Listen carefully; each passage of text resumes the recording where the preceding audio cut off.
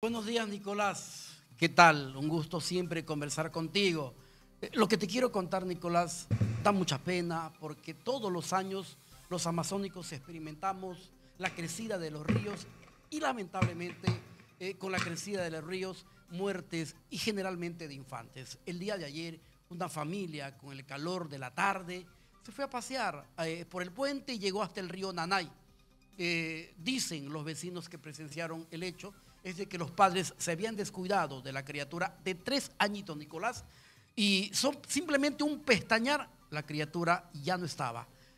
Estaba ya no habida la criatura porque las aguas del río Nanay le eh, ha cobrado una de sus primeras víctimas en esta creciente de ríos, Nicolás. Los familiares, la Policía Nacional y la Marina de Guerra del Perú, hasta el día de hoy, hasta en estos momentos, eh, están buscando el cuerpo de la niña y lamentablemente todavía no aparece.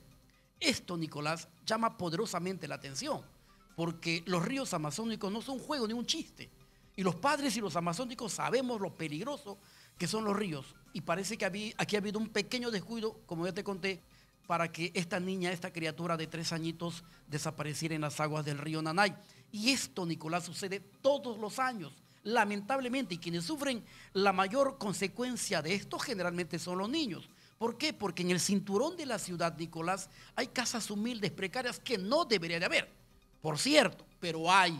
Y la realidad es de que hay, hay familias ahí. Entonces, cuando el río crece, están a merced. Y generalmente un descuido de los padres, los niños caen y se ahogan. Todos los años tenemos que estar contando estas historias, Nicolás, tristes, donde niños, niñas, lamentablemente pierden la vida y lloramos todos como estamos llorando la muerte de esta criatura de tres años, un pequeño descuido de los padres para que esta niña hasta estos momentos no sea encontrada todavía. Están buscando, eh, eh, la, Marina de Guerra con la Policía Nacional ha llegado a ir hasta la boca del río Nanay con el río Amazonas, porque las corrientes eh, de las aguas del río Nanay son muy fuertes y hay posiblemente exista esa pequeña posibilidad de que sea encontrado en esta parte ya un poco más abierta del río Amazonas. Triste noticia eh, que el día de hoy hemos dado, hemos contado a la población loretana, Nicolás, y ahora lo estamos haciendo a nivel nacional, eh, eh, de lo que pasa en la Amazonía cada vez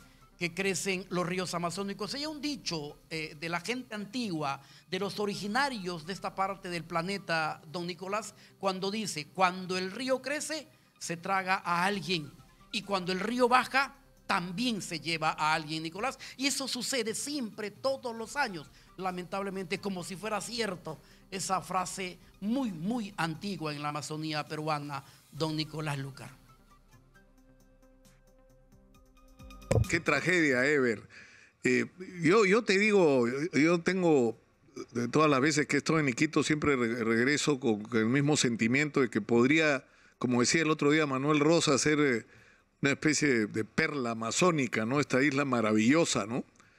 Eh, y, qué pena que Iquitos esté como está eh, por, por la negligencia y la corrupción de sus autoridades, ¿no? Porque incluso temas como este, ¿no? El de, el de, la vigilancia, o sea, si sabes que este tipo de cosas ocurren más allá de la responsabilidad de los padres, en las zonas donde hay eh, presencia de gente, tiene que haber algún nivel de resguardo, como se hace en todos lados, ¿no? Para garantizar una respuesta rápida en el caso de que ocurra un incidente, ¿no? Claro que sí, Nicolás. Y, aquí viene eh, eh, la obra o las obras del gobierno regional de Loreto respecto al levantamiento de rasante, una obra que cuesta, por cierto, millones de soles a todos los loretanos. Millones de soles que sin embargo está en condición de paralizado. Y ahora tenemos la información, Nicolás, que el gobierno regional solamente por temas de fideicomiso ha recibido desde que se inició la fecha mil millones de soles, Nicolás, mil millones de soles como para que estas cosas no sucedan, Nicolás, pero lamentablemente ya sabemos quiénes nos gobiernan. Y no es solamente excepción Loreto, sino también todo el país.